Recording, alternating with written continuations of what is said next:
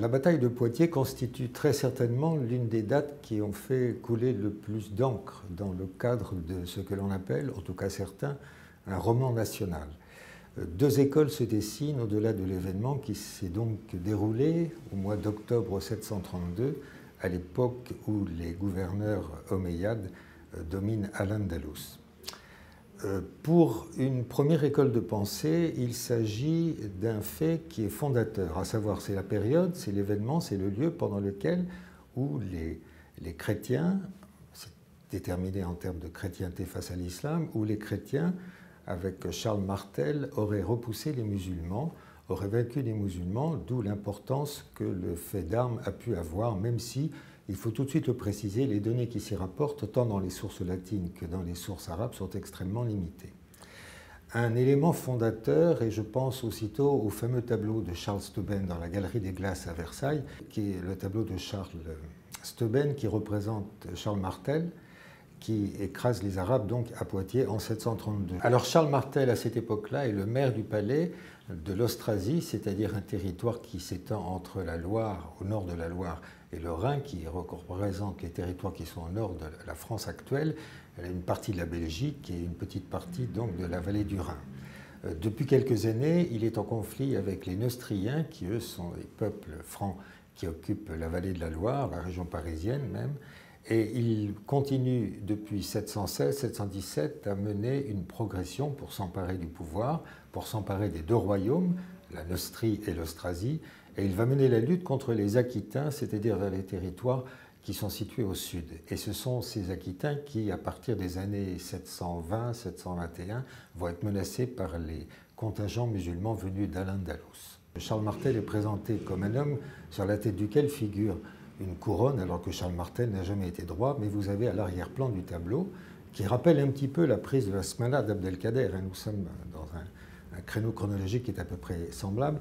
on a une croix en pierre qui figure à l'arrière-plan du tableau, montre bien que c'est une victoire du christianisme sur euh, l'islam qui s'est déroulée donc en 732. Euh, cette école de pensée a été soutenue par de très nombreux historiens depuis la période de la vie, son histoire de France, et donc Poitiers est devenu quasiment un élément fondateur de la nation France qui serait étroitement lié au christianisme face à l'islam. Autrement dit, c'est par rapport à l'autre que s'est constituée à cette époque-là euh, la France qui allait devenir ensuite la France médiévale. Pour d'autres historiens, euh, c'est plutôt une escarmouche, c'est plutôt un fait d'armes qui, n'ayant guère laissé de traces tant sur le terrain que dans les sources, c'est un fait d'armes qui serait d'une importance secondaire. Et je crois qu'entre les deux postures, il est extrêmement difficile de choisir une, vision des choses qui soit juste, mais il est vrai qu'il ne faut pas réduire cet épisode de Poitiers à un fait d'armes très secondaire. D'une part, parce que c'est à partir de cette date dans l'histoire de la France médiévale que le pape, le souverain pontife, qui commence à être menacé en Italie, va nouer des liens avec les Australiens, c'est-à-dire avec Charles Martel, et c'est à partir d'une autre victoire également contre les musulmans en 737 à Sijan que les liens vont s'intensifier et que l'on va assister à plusieurs lettres qui ont été envoyées par le souverain pontife à celui qui est à l'époque encore le maire du palais, c'est-à-dire Charles Martel. L'importance de la bataille du Poitiers, elle est également ailleurs. Elle a fait l'objet d'un grand débat historiographique. Mais il faut bien comprendre que cette bataille, nous sommes en 732, et le tableau de Charles Steuben auquel je faisais allusion intervient à un moment où euh, il y a, à l'époque de la monarchie de juillet, les débuts de la conquête en Algérie, les débuts des expéditions françaises en Algérie, et que par conséquent, euh, c'est une manière de valoriser, ou en tout cas de justifier plus exactement, les expéditions françaises qui vont conduire à la conquête de l'Algérie à partir de 1830 d'une certaine manière, c'est un retour de l'histoire, c'est ainsi qu'on pourrait le dire.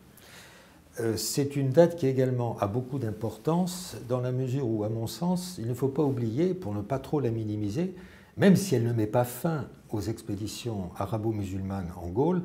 c'est une date qui a fait l'objet, une bataille qui a fait l'objet d'un récit extrêmement détaillé, ce qui révèle de manière indirecte son importance, dans une chronique qui est rédigée au 8e siècle en Espagne, vraisemblablement par un homme qui est dans l'entourage, un chrétien, mais qui est dans l'entourage du pouvoir omeyyade de Cordoue, je parle de la fameuse chronique mozarabe. On a affaire à une très longue description de cette bataille de Poitiers, et qui oppose donc d'un côté les Francs et de l'autre côté les musulmans. Et c'est euh, ensuite, dans plusieurs sources arabes, que l'on va donner le nom de Balat al-Shuhada, c'est-à-dire la chaussée, la voie des martyrs, qui, euh, on le sait tous, euh, n'est pas localisée avec précision entre Poitiers et Tours, mais vraisemblablement à proximité de ce que l'on appelle aujourd'hui le vieux Poitiers. Et c'est là où, il y a quelques années, on a établi un petit musée champêtre, toute une série de tables d'illustrations qui figuraient à proximité du site de Mousset-la-Bataille et qui a fait l'objet, c'est d'ailleurs très intéressant, d'une destruction euh, de la part de mouvements, on peut les qualifier euh, nationalistes ou d'extrême droite, il y a quelques années donc.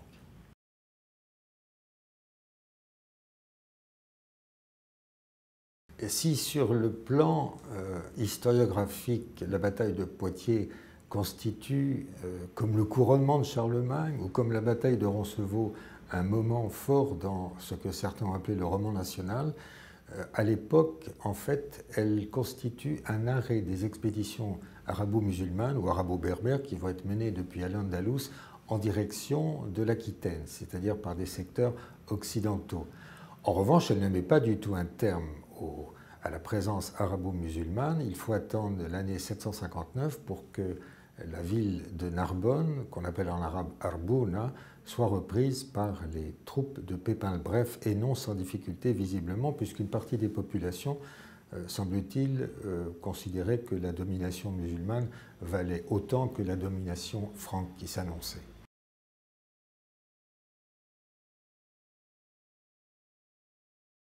Alors l'intérêt qui a été porté à la bataille dite de Poitiers a commencé très tôt. Euh, on retrouve sous forme de miniatures et de récits dans les grandes chroniques de France au XIVe siècle des allusions à ce fait d'armes remporté par les Francs. On retrouve également la trace à l'époque de François Ier, également pendant le XVIe siècle, mais c'est surtout euh, à partir du XIXe siècle, à l'époque de la monarchie de Juillet, et davantage encore peut-être à l'époque de la Troisième République, que la bataille de Poitiers a fait l'objet d'une sorte de récupération historique. Euh, il y a quelques instants, nous évoquions l'idée selon laquelle la monarchie de juillet pouvait, au travers de ce tableau, comme d'autres sculptures qui ont été réalisées à la même époque, vers 1830-1837, à Poitiers, euh, la monarchie de juillet s'est intéressée à la bataille de Poitiers, mais c'est surtout donc à l'époque de la Troisième République que la bataille de Poitiers a fait l'objet d'un intérêt majeur. Ce qui peut paraître étrange dans la mesure où pendant très longtemps on considérait que c'était la victoire du christianisme sur l'islam. Et le contexte politique de la Troisième République naissante euh, était une difficulté pour les républicains puisque c'était le christianisme qui prédominait dans ce cadre. Euh, justifier les expéditions françaises, la conquête française de l'Afrique du Nord, de l'Algérie en particulier, à partir de 1830, mais quelques années plus tard, la bataille de Poitiers est considérée comme la capacité que les Francs, entendez les Français, ont à rejeter toute présence ennemie sur le territoire. il est bien évident qu'à partir de 1871 et jusqu'en 1914, cette bataille de Poitiers a été vue comme une source de, un élément de la revanche pour certains. Elle montrait que les Francs étaient capables de repousser les ennemis et il y a eu très souvent des associations entre les musulmans et pourquoi ne pas le dire à certains moments, et cela figure dans certains manuels ou certaines publications, ce que l'on appelait à l'époque les boches.